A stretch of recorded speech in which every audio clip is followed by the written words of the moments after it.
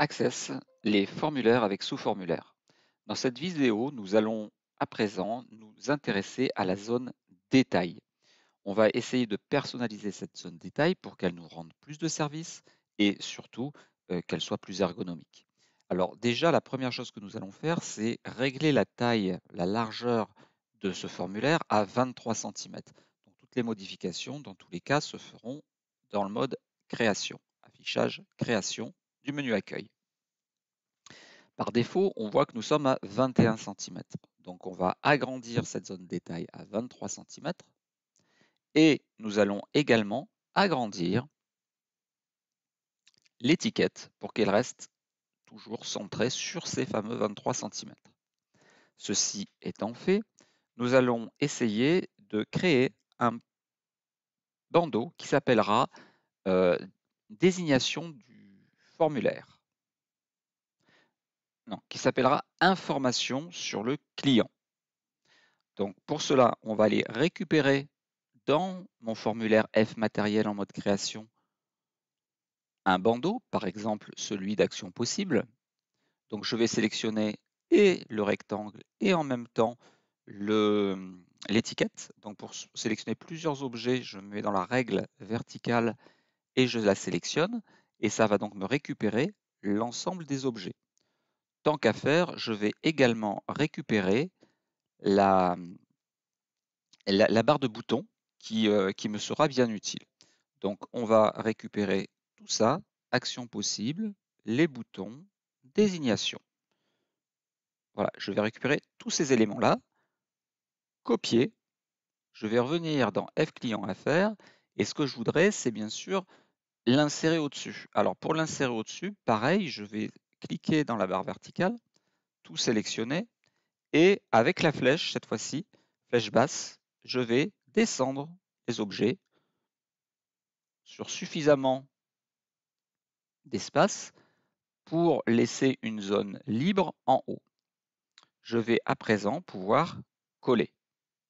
Donc je retrouve mes actions possibles qui sont normalement utilisables, et puis une étiquette qui s'appelle désignation. Donc cette étiquette qui s'appelle désignation, je vais donc cliquer ailleurs pour tout désélectionner et recliquer dessus. Je vais bien sûr modifier ce texte. Je vais appeler ça information sur le client.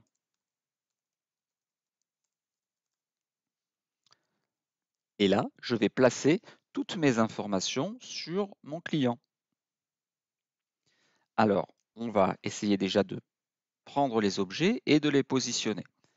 Donc, le numéro de client, je vais, alors je vais prendre le petit carré là qui se trouve en haut à gauche de la zone de texte. Sinon, si je prends ailleurs, en fait, j'emmène les deux. Donc, moi, ce que je veux, c'est juste prendre l'étiquette numéro de client. Donc, je prends le petit carré, et je vais aligner ce numéro de client avec la touche contrôle en l'alignant à gauche. Organiser, aligner, gauche. Ce qui fait qu'ils sont bien alignés au même niveau. Je ne me préoccupe pas trop de la mise en forme, je le ferai par la suite. Juste à côté, je vais mettre la civilité. Hop, c'était déjà sélectionné. Je clique sur la civilité je fais la même chose, je récupère la civilité et en dessous, je vais mettre civilité. Je ne me préoccupe vraiment pas de la mise en forme, donc je fais la même chose avec le nom du client et je prends le nom du client. Je vais peut-être enlever ce admis-cli que je placerai ailleurs, donc je le descends simplement et je vais rajouter le prénom CLI. Donc pareil, le petit carré pour le prendre tout seul. Et prénom CLI ici. Voilà, ceci étant fait, il va falloir que j'harmonise un petit peu tout ça. Donc déjà, tous mes objets qui sont là, je vais les sélectionner et je vais les aligner en hauteur. Donc, aligner haut.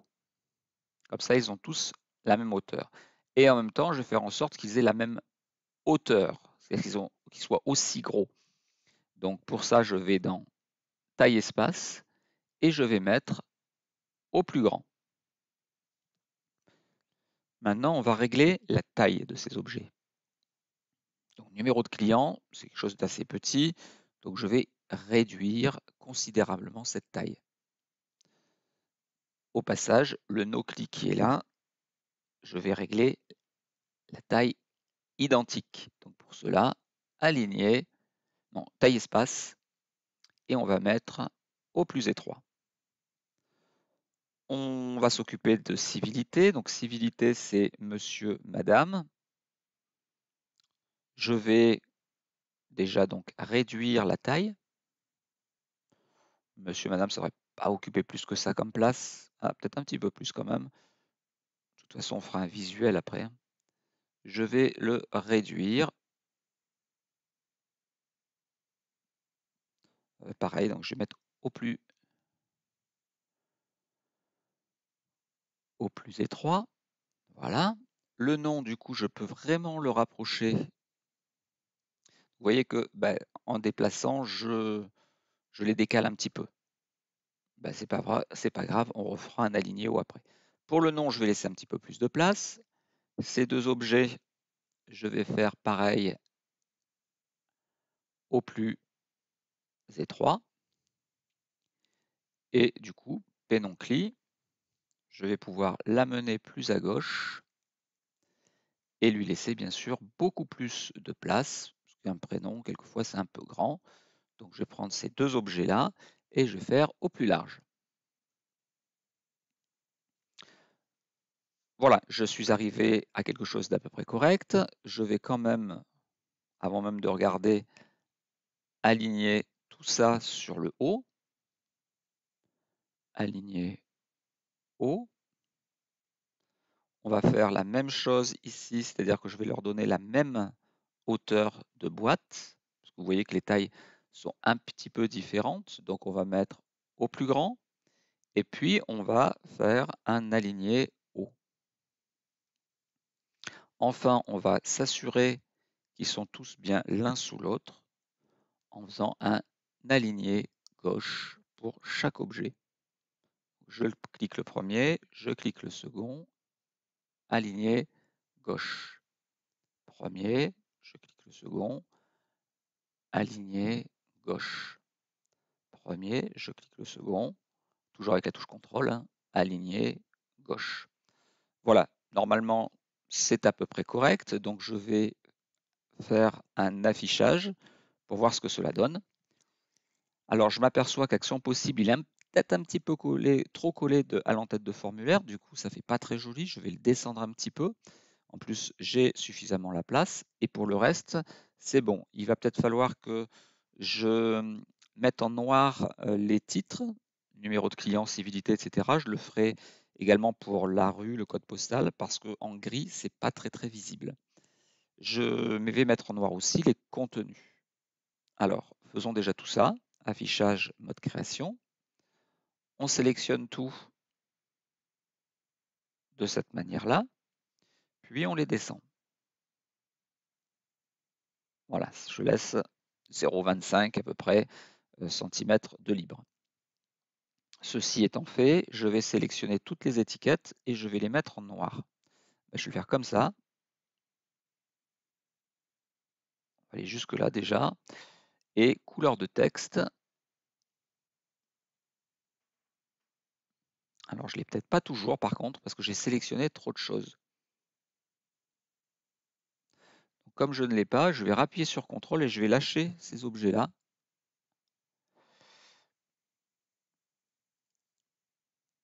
Donc je dois juste prendre ceci.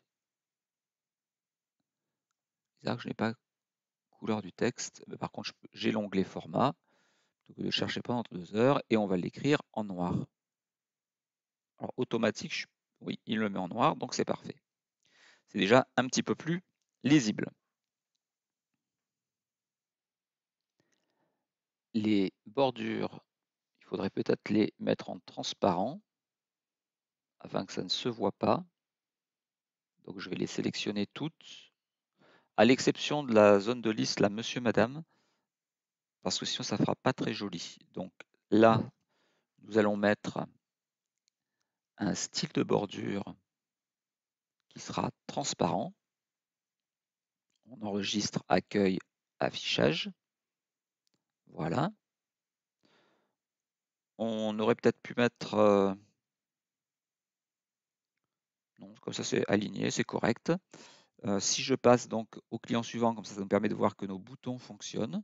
Dans Burini, on voit au fur et à mesure que les adresses changent. Je vais sur le dernier, je reviens sur le premier. Donc tout fonctionne bien. Je vais descendre encore un petit peu. Et là maintenant, on va copier-coller information sur le client pour pouvoir avoir d'autres blocs. Et ainsi avoir un bloc pour l'adresse et puis un autre peut-être pour les fameuses affaires passées par ce client qui sont ici. Donc on retourne en mode création. Je vais prendre le bloc information sur le client, je le copie et je le colle ici. On le descend.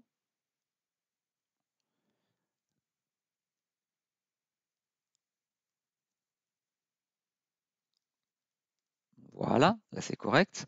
Je m'aperçois que je n'ai pas encore assez de place. Donc du coup, là je vais placer euh, la rue, le code postal, etc. Toutes ces informations-là se trouveront dans l'adresse. Il me reste après donc le sous-formulaire qui est là, que je vais sélectionner et que je vais descendre pour pouvoir recréer un bandeau au-dessus. Donc je vais à nouveau coller, flèche vers le bas, pour descendre les informations sur le client. Je m'aperçois que ça s'est collé un peu trop à droite, donc je le ramène sur la gauche. Et on va essayer de réduire un petit peu tout ça. Alors, euh, tout d'abord, donc la rue, je n'ai peut-être pas besoin du libellé. Donc là, je vais cliquer sur le petit carré pour sélectionner juste cet objet-là. Et là, je vais faire supprime. Ça va m'enlever donc le libellé, l'étiquette en fait de la rue mais je vais bien sûr conserver la rue. Je vais mettre un peu plus à droite, et là je la trouve un peu trop haute, donc je la réduis. Ensuite, on va mettre le code postal en dessous, même chose, je n'ai pas besoin d'un champ CPCLI, enfin d'une étiquette CPCLI, ni d'une étiquette VILCLI. Par contre, je conserve bien sûr le code postal que j'amène ici, et j'amène la ville au même niveau que celui-ci. Alors déjà, rue et CPCLI, on va les aligner à gauche au même niveau que le numéro du client. Donc je sélectionne tout ça, aligner gauche, organiser, aligner gauche. Ensuite, la ville, je vais l'amener un peu plus à côté du code postal et je vais faire le même alignement haut pour qu'ils soient à peu près l'un en face l'autre. Aligné, haut. Ensuite, je vois que toutes ces boîtes n'ont pas la même taille. Je vais prendre aussi le demi-cli et puis la petite case à cocher. Tout ça, je vais faire un aligné au plus petit. Non, taille espace, pardon, au plus petit. On fait un aperçu pour voir ce qu'on enregistre. Accueil affichage, et nous avons donc notre adresse. Alors, admis-cli est un peu trop haut parce que je n'ai pas réglé sa taille. Sinon, pour tout le reste, c'est bon. Il faudrait juste peut-être enlever le, le, contour. Je retourne en mode création. J'enlève les contours tout de suite avec style bordure transparent. Et ces deux objets-là, que je sélectionne comme ça, et la rue, que je sélectionne avec la touche contrôle, je vais faire un aligné bas. Organiser, aligner, bas. Voilà, ce qui me permettra comme ça d'avoir une présentation un peu plus sympathique. On va maintenant s'occuper du dernier point qui s'appelle les affaires du client. D'ailleurs, je n'ai pas mis l'adresse. Donc, on a action possible, information. Là, on a pas changer l'étiquette, donc on va mettre adresse du client.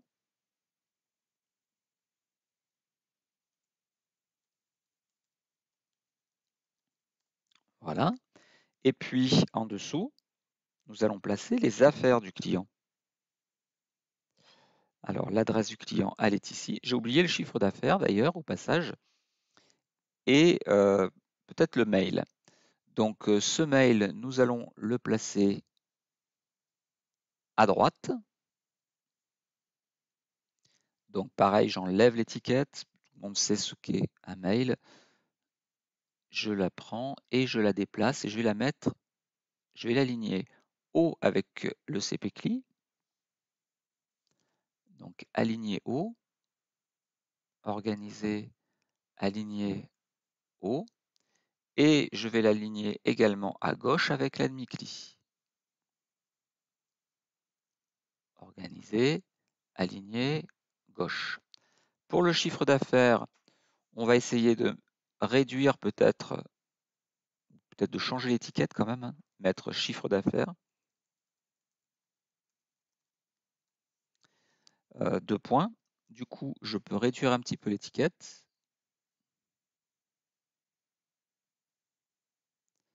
Je vais la placer ici. Par contre, elle est un peu trop grande. Donc le chiffre d'affaires, on va réduire sa taille. Ça devrait être suffisant. Ça, je vais le rapprocher et le coller carrément. Ah, il ne s'est pas collé. Je n'ai pas dû bien le sélectionner, donc je vais prendre tout carré et je vais le rapprocher. Voilà. Et maintenant, on va essayer de faire un aligné droite, mais on va agrandir un peu le mail. Donc ça, on va faire aligné droite. Non, on va prendre ces deux-là et on va faire un aligné droite. Organiser, aligné droite. Celui-là, on va essayer de le rapprocher au maximum, mais ce n'est pas suffisant. Donc on va le décaler un peu plus, voilà. Contrôle aligné gauche. Et celui-ci, on va s'arranger pour qu'il s'arrête juste au niveau du trait. Voilà. Et là, nous avons des boîtes qui doivent à peu près être bonnes. Il faudrait juste remettre ça en noir. Format noir. Enregistrer, accueil, affichage. Voilà, donc là j'ai mon bloc là qui est assez sympathique où on voit bien euh, tous les éléments nécessaires. Il nous reste à nous occuper du bloc qui gère les affaires passées par un client. Affichage, mode création. On va descendre. Du coup, ce bloc, on va pouvoir le remonter. Donc pour prendre tout, je me mets dans la barre verticale et je la remonte je m'aperçois que du coup, j'ai dû augmenter. Non, je suis à 23 cm, c'est bon. Et on va essayer de rétablir tout ça. Donc là, déjà, on va mettre affaire du client.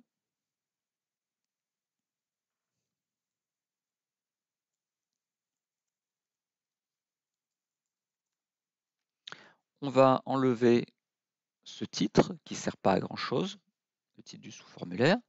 Et puis, on va prendre le formulaire l'objet formulaire et on va le déplacer pour qu'il occupe la quasi-totalité de la largeur. On va le faire s'arrêter juste ici. Il est fait 25 maintenant. Fait-il 25 Je pense qu'il a été décalé tout à l'heure. On ramène à 23. Voilà. Et puis, on va essayer d'agrandir cette zone-là pour qu'elle occupe toute la place. On va garder cette hauteur-là parce qu'on fera peut-être des petits calculs par la suite. Et puis, on va remplacer ici un peu le libellé. Donc là, on va mettre numéro de l'affaire. Je pourrais changer les couleurs, hein, bien sûr. Numéro de l'affaire. Référence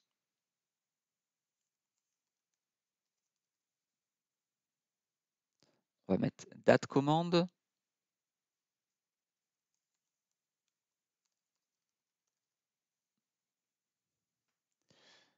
Puis nombre de matériel et nombre de livraisons.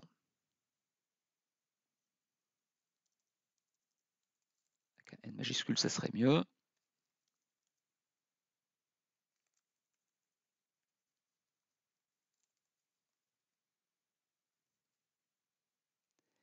Et puis ici, nombre de livraisons.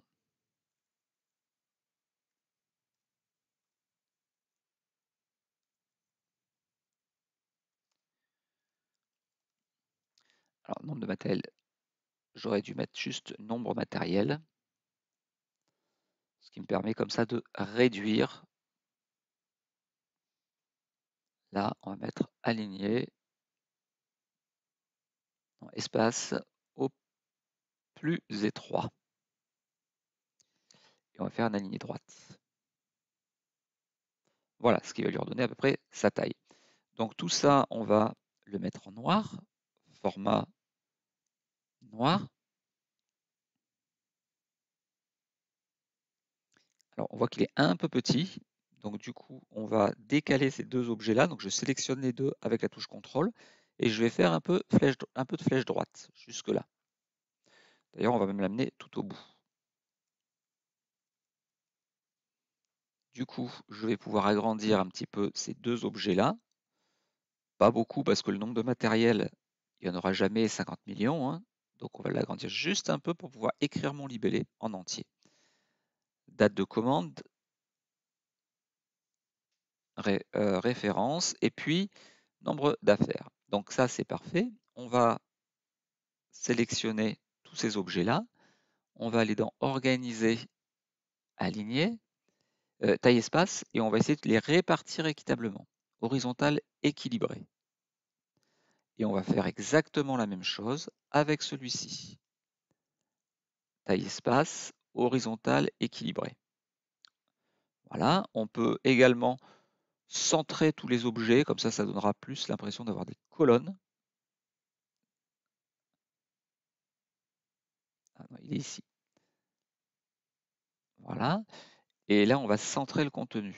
Donc, format. Et on va centrer le contenu et je recentre. Voilà. Accueil, affichage. Et donc, on a quelque chose d'assez présentable. Et si je descends en bas, je vois toutes les informations. Alors, bien entendu, on pourrait passer plus de temps dans la mise en forme, mais l'essentiel, c'est de voir que ce formulaire est à présent tout à fait convivial. Vous voyez, je suis sur le client 3. Alors, je ne sais pas si le client 3 a passé des affaires. Non, il n'a pas passé d'affaires.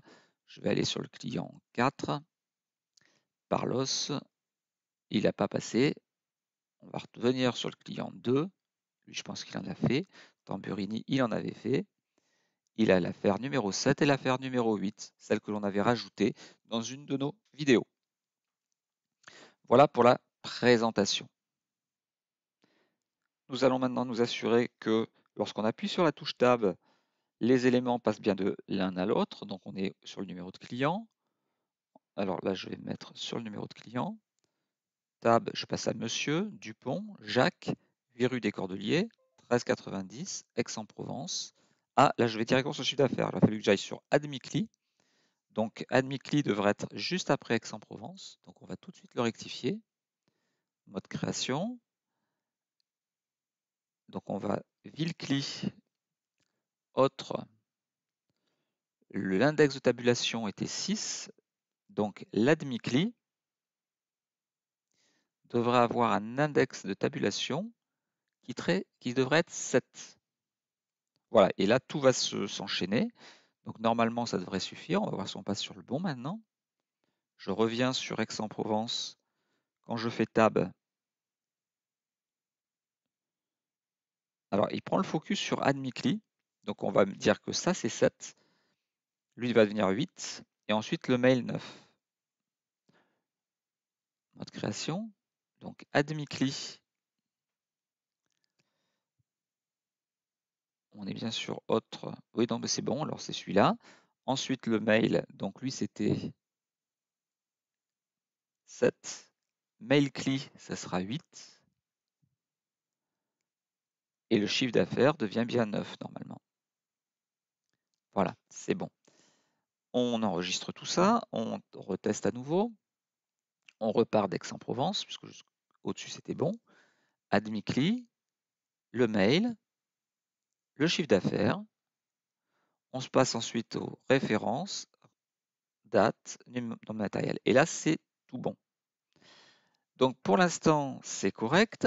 Je vais quand même euh, demander à ce que l'on ne puisse pas s'arrêter sur euh, certains champs, notamment le numéro de l'affaire, puisqu'il est généré automatiquement, mais également le numéro de client qui est généré automatiquement. Je me mets dessus, alors en mode création bien sûr. Je vais sur le numéro de client, je vais dans Données. Pardon, le numéro de client est là. Je vais dans Données et dans Données, j'ai verrouillé Oui. De la même manière, quand je suis dans Autre, ce n'est pas la peine que la tabulation s'arrête. Donc, je vais aller préciser cela dans Arrêt tabulation, non. Comme ça, la tabulation ne viendra plus sur le numéro de client. Je vais répéter la même chose sur le numéro d'affaires. On ne va pas faire d'arrêt tabulation, on va mettre non. Et dans données, on va mettre verrouillé oui. J'aurais pu mettre activer non, ce serait revenu exactement au même. C'est une autre option qui permet de faire à peu près la même chose. On va peut-être changer juste une petite chose, c'est au niveau des infobules. Euh, là, ce bouton-là, on peut se poser la question quand je fais euh, ajouter ou supprimer. Alors, quand je suis en mode aperçu, vous voyez que là, on n'est plus sur C001. Hein. le premier, c'est bien civilité et je ne peux plus le modifier. Et là, l'infobulle, ajouter enregistrement. Donc là, je ne sais pas ce que je vais ajouter. Est-ce que j'ajoute un client ou est-ce que j'ajoute une affaire un peu plus bas? Donc pour euh, bien préciser qu'on va ajouter un client, on va modifier ce texte infobulle. Donc je vais le modifier sur ajouter enregistrement et il faudrait que je le, que je le modifie également pour supprimer enregistrement. Il serait mieux de mettre ajouter un client ou supprimer un client. On rebascule en mode création. On prend le bouton ajouter. On va dans autre et la texte d'infobulle, au lieu de mettre ajouter enregistrement, on va mettre ajouter un client. Et ici, on va mettre supprimer un client. Ça au moins, on est clair. On va maintenant prendre le temps d'enregistrer tout ça et vérifier que quand même ces deux modifications fonctionnent bien. Je clique sur enregistrer et puis affichage. Et quand je mets mon infobulle, voilà, j'ai bien ajouté un client et supprimé un client. On va s'arrêter là pour cette euh, vidéo. Dans la vidéo suivante, on fera le réglage des général des propriétés et puis comment créer un pied de page.